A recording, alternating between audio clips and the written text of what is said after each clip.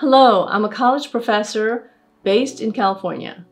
I want to take a moment to encourage those in the Vietnamese American community to take any of the FDA approved COVID vaccine when they get the chance.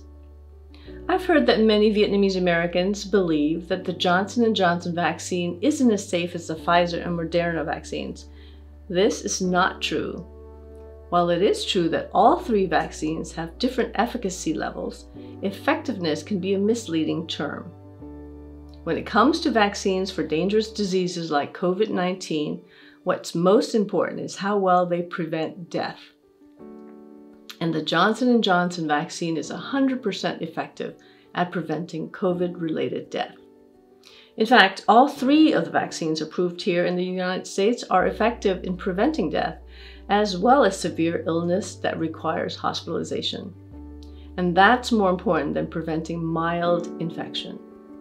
The more people we can make immune to serious COVID, the better. So any vaccine you can get is a very, very good thing, both for you and for the people around you.